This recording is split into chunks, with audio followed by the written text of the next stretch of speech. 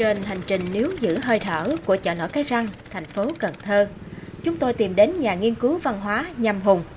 Người dành hết tâm huyết đời mình vào công cuộc bảo tồn và phát triển chợ nổi ở miền Tây. Hơn 30 đầu sách mà ông viết ra, phần nhiều vẫn là về chợ nổi. Để rồi vào những ngày mưa giữa tháng 6, trong không gian tri thức đó, ông vẫn tẩn mẫn, nghiêng ngẫm, tìm hướng đi mới cho chợ nổi Cái Răng tất nhiên rồi chuyện mà, phát triển về giao thông đường bộ nó là một phần. Nó là một trong các nguyên nhân để làm cho cái chợ nổi nó mai một. Thậm chí là coi như là người ta gọi là dịp thì cái việc mà xây dựng bờ kè gần đây thì nó như một cái giọt nước tràn lên làm cho những cái khó khăn của bà con càng khó khăn hơn. Bởi vì nó cắt rời cái không gian trên bến dưới thuyền cho nên cái giao lưu hàng hóa vận chuyển hàng hóa nó bắt đầu nó khó nhập nó lại là cái dự án tiến hành chậm. Nó tạo ra một cái tâm lý không tốt đối với cái thương hồ cũng như đối với du khách. Nhưng mặt khác tôi nghĩ rằng à, đấy là một cái diễn biến theo quy luật tồn vong. Tất nhiên cái du lịch mà đến chợ nổi cũng là quy luật à, quy luật khám phá à, tức là cái đây là nhu cầu à, của du khách. Chúng ta phải chấp nhận chúng ta phải tôn trọng và chúng ta tạo điều kiện cho du khách đến chợ nổi cái răng nhiều hơn.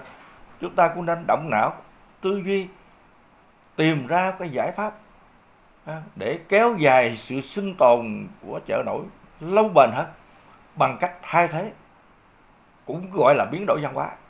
Đó, thì sự biến đổi văn hóa này có nghĩa là từ chúng ta có thể có một cái lộ trình chuyển từ cái chợ nổi tự nhiên sang cái chợ nổi tự tạo tức là nhân tạo.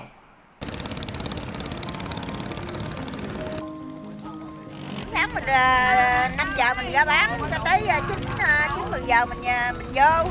Nhưng mà cái chỗ này nó gắn bó với mình nó không có thể nào mình tả nổi chứ nói chung là bây giờ đi đâu có vui gì cũng không bằng mình ở đây nói thiệt luôn. Có khi có bữa thì giao được hai ba hai ba trăm ký có khi giao không được ký nào mình ở qua ngày khác. Cái gì nữa dắt này còn chở đồ ta dắt này ngồi đây nữa nè.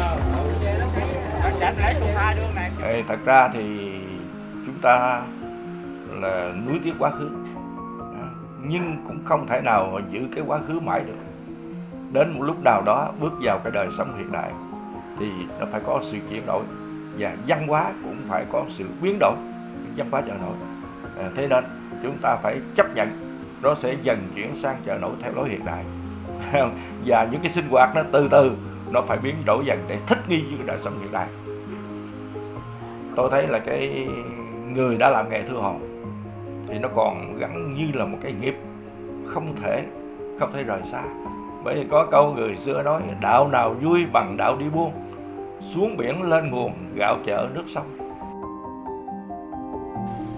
Thực tế, theo thời gian bao nhiêu chợ nổi ở miền Tây đã hoàn thành sứ mệnh lịch sử của mình. Điều này cũng không loại trừ trường hợp chợ nổi cái răng sẽ tiếp gót đi theo, mặc dù viễn cảnh đó còn khá xa vời. Song, chính điều này sẽ là động lực cho địa phương ở thời điểm hiện tại khi đang thực hiện các quyết sách cho chợ nổi cái răng, hỗ trợ bà con thương hồ, hài hòa giữa lợi ích du lịch và giao thương hàng hóa, xử lý các vấn đề tồn động, cản trở. Có vậy thì chợ nổi mới được kéo dài tuổi thọ.